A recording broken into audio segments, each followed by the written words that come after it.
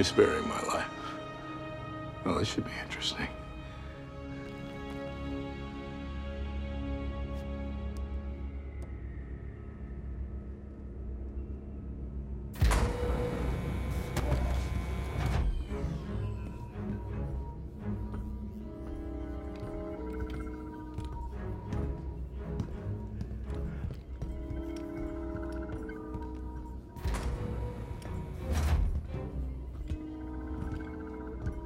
What happened?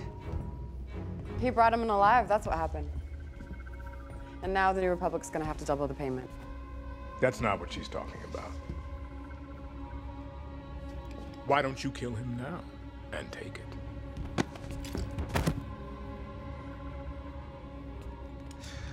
It's yours now. What is? The Darksaber. It belongs to you.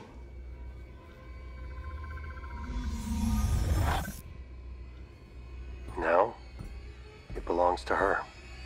She can't take it. It must be won in battle. In order for her to wield the Darksaber again, she would need to defeat you in combat. I yield. It's yours. Oh, no. it doesn't work that way. The Darksaber doesn't. The story does. Without that blade, she's a pretender to the throne.